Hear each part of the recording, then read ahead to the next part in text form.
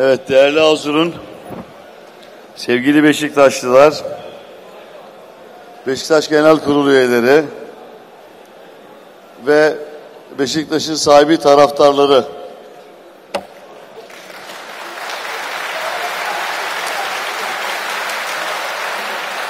Şimdi çok değerli divan başkanım, şeref verdiniz, geldiniz divandaki üyelerimiz, divan yönetim kurulu başkanı ve üyelerimiz ve denetleme kurulu başkanımız ve üyeleri ve çok değerli yönetim kurulu iki buçuk yıl benimle Canır'a çalışan değerli yönetim kurulu arkadaşlarıma saygılar ve selamlarımı sunuyorum. Müsaadenizle önce iki buçuk yıl bu sıkıntıyı göre göre gelip benimle bu yola baş koyan arkadaşlarımı müsaade ederseniz sizden arz ediyorum. Ayağa kaldırıp alkışlamanızı istiyorum. Buyurun arkadaşlar.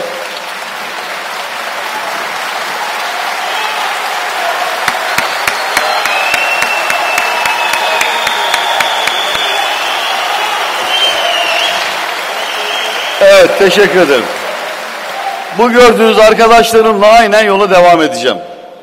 Sadece yerleri ve titirleri değişik olacak yapacaklar. Benim için diğerlerinden hiçbir farkı yok. Az evvel bir arkadaş burada ifade ediyor.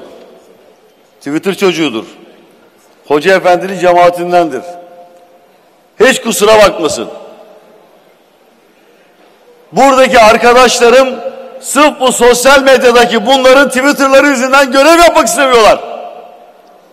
Artık susun.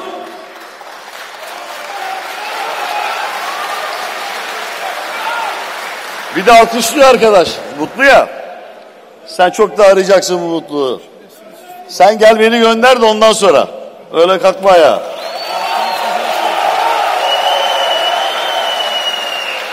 Evet arkadaşlar genel konuşacağım. Her birinize tek tek cevap vermek benim aslında vazifem. Her biriniz çok kıymetlisiniz ve genel kurul üyelerimsiniz. Şimdi bir defa raporlarda yazanı doğru okumayı maalesef öğrenemedik. Bu denetleme kurulu bunu neden yapar bilmiyorum. 4.9 borç ama kasada 600 milyon var. O parayı yok kabul ediyorlar. Borç 4.9 deyip pilavı kırıyorlar yürüyorlar. Borç 4.3. Oradan başlayacağız. Müsaade edersen Seçil Bey şunu bir ekrana yansıtabilir misin? Bir önce şu borç konusunu bir halledelim de yavaş yavaş öyle gidelim. Ha bir de bu arada söyleyeyim yüzde iki buçuk Şeker Bank'taki hisseleri bugün yarın alıyoruz. Size bu müjdeyi vermek istiyorum. Borç ödendi.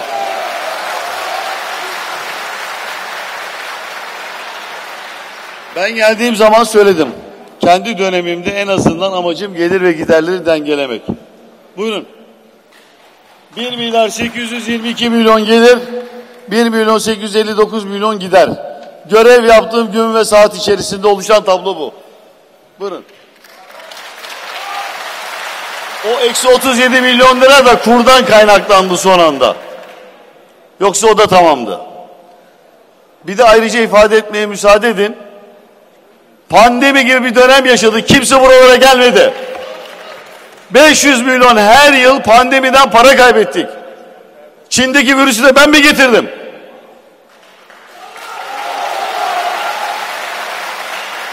...500 çarpı 2... ...1 milyar TL. Koyun... ...artı 1 milyar dönemim yazar. Bu arkadaşlar onun için teşekkür borçluyum. Allah hepsinden razı olsun.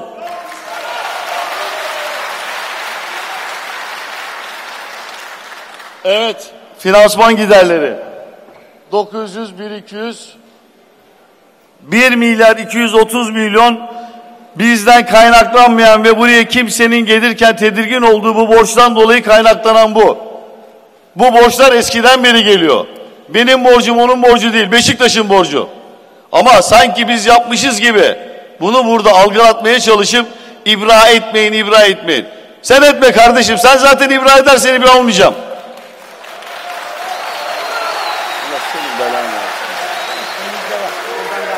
Ha var mı burada?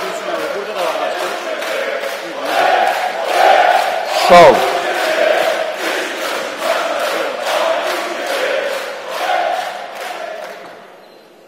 Bu arkadaş yıllar evvel geldi bana dedi ki ya çok içerliyorum bir de yakın komşum yani.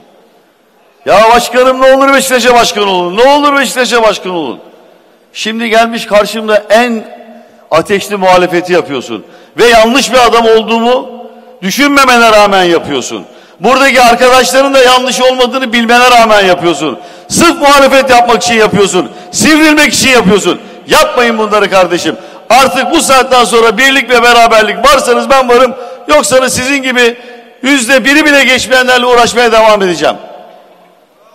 Buyurun söylüyorum. Net borç. Aldığımda 2 milyar 756 milyon. Kendi dönemimde 2937'den başlıyor ve 4300. Borcumuzun toplamı artışta 1 milyar 300 milyon lira. Sevgili arkadaşlar. 1 milyar 300 milyon borç artmış. Buyurun toplayın yukarıda. 1 milyar 283 milyon zaten bizden kaynaklanmayan dönemi faiz ve kur farkı dönemi. Rica ediyorum. Bunları görün, atmayı tutmayın.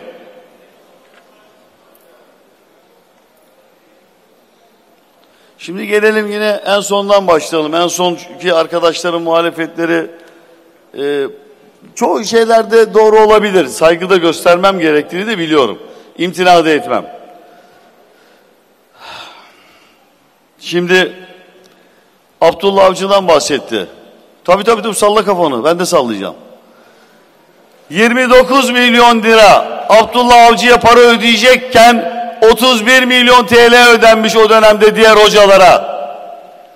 Eksi 2 milyon zarar vermişim. Abdullah Hoca'nın üstüne gelen hocayla kazandığım kupadan getirdiğimiz para 30 milyon euro. Eksi 2 milyon lira Abdullah Avcı için fazla para ödendi diye burada bunun hesabını sorman doğru değil. Elini sallama ben konuşurken ben sen konuşurken konuşmadım bekle.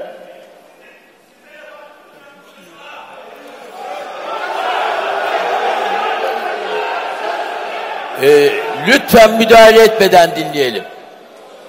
Lütfen müdahale etmeden Kadro dışı bırakılan futbolcular bizim dönemimizde alınmadı bunlar arkadaşlar. Bunların nasıl alındığını siz de biliyorsunuz ve bunların takıma yaramadığını gelen üç tane hoca teyit etti. Üç tane. Ve bunların karşılığı 60 milyon euro. Bunların hesabını o gün soracaktınız. Bugün değil. Zamanlamanız yanlış. Hata yapıyorsunuz. Zarar veriyorsunuz Beşiktaş'a.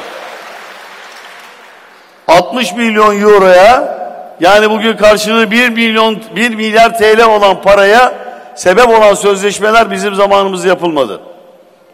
Rica ediyorum lütfen bunlara hassas davranın. Bu bir üç tane hoca gelmiş kısa bir dönemde. Ya gelen hoca iki sene evvel geldi. Giden hoca Abdullah Avcı'yı ben göndermişim de nasıl göndermemişsem para demişim. Bakın beyler anlattım bir de anlatıyorum. Sakin ol sakin. Sakin ol sakin onu sen yapacaksın. Sen yiyecek senin cesaretin yüreğin olacak buraya geleceksin yönetime. Başkan olacaksın o zaman o imzayı alacaksın. Arkadaşlar bazı şeyler akışına gelir. Biz büyük camiayız. Abdullah Avcı bile bunun kadar itiraz etmedi. Adama dedik ki hocam senin derdin ne sana nasıl yardımcı olabilirim? Bana yardımcı olamazsın dedi enerjim bitti. Peki dedim hocam seni yolcu edelim. Hayır dedi. Şimdi ben koca camia enerjisi bitmiş bir hocayı sözleşmesini kendi feshetmiyor diye eksi 2 milyon TL zarar yazacak diye orada tutmam kardeşim tutmam. Başkanlık budur. Cesaret işidir. Gidiyorsun kardeşim diyebilmektir. 200 milyonluk vergi borçlarını 16 milyon TL'ye indirdik. Git gel Ankara. Yalvardık yakardık. Allah yapanlardan da razı olsun. Çoğu da Beşiktaşlı dostlarımızdı. Diğerleri de yapıldı ama bizi hakikaten sevdiler ve gereğini yaptılar. Yeni hocayla niye sözleşme yapmışım? Ya bir tane altyapıdan hoca getirdik. Adamı perişan ettiler ya sosyal medyada. Dedim ki Sergen Hoca evladımız onunla yürüyorum. Üstüne Önder Karaveli hocamız geldi bizim çocuğumuz. Vay anam vay adamı yediler bitirdiler. Adam geldi bize ne dedi biliyor musunuz dostlarım? Sevgili Beşiktaşlar. Başkanım ölmek üzereyim yaşayamıyorum nefes alamıyorum dedi. Adama ne diyecektim? Ölme diyecektim burada.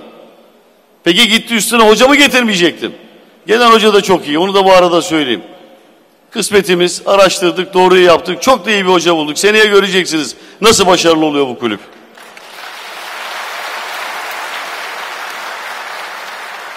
Dört tane kupa aldık. Ya bir Allah'ın kulu, bu sosyal medyacılar var ya, ya yakıştıramadılar bize ya.